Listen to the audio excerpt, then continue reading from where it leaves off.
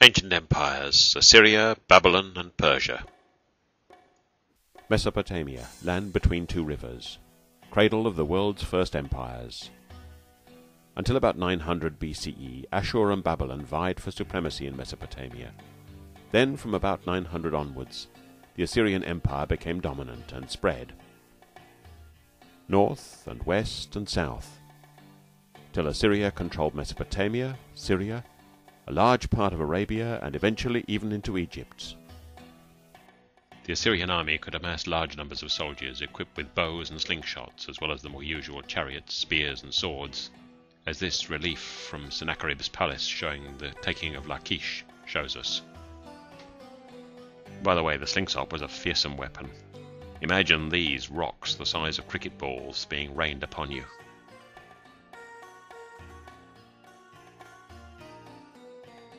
This obelisk, or engraved stone pillar known as the Black Obelisk, comes from 841 BCE and it tells of the campaigns and successes of Shalmaneser III in the west.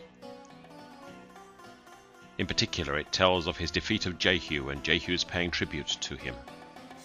Jehu was king of Israel. That's Jehu in the center of the picture, groveling at Shalmaneser's feet. It's the only known picture from the period of a character from the Bible. During the reign of King Hezekiah of Judah, Sennacherib, the Assyrian emperor, marched against Hezekiah and captured most of his cities.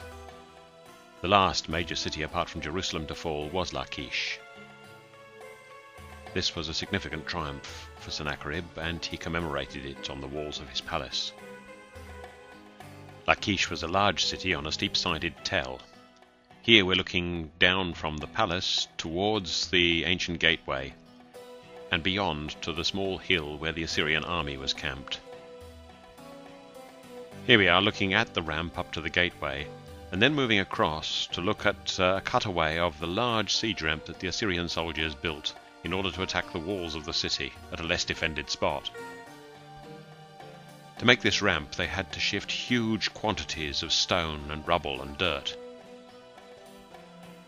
And then, attacking both up the ramp and using siege towers, they took the city.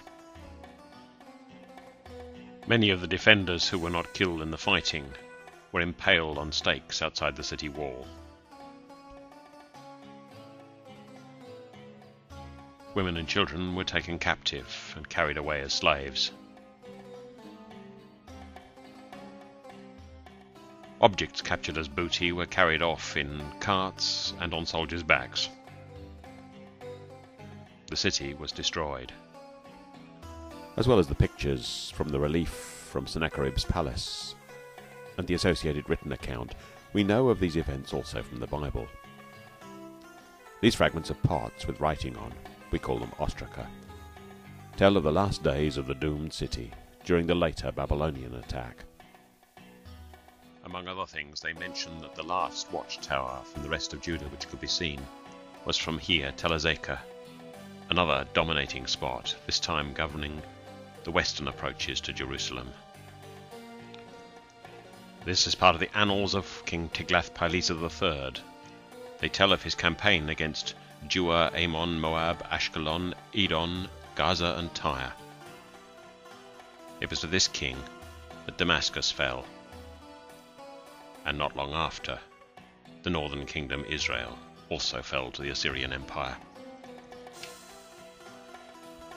If you found the writing on Tiglath-Pileser's annals difficult to read, it may be clearer on the back of this lion. The writing is called cuneiform, and it's made up of combinations of wedge-shaped marks stuck into the wet clay with a shaped stick. The lion, with its beauty, its grace, and its power, stands as a fitting symbol of the Assyrian Empire.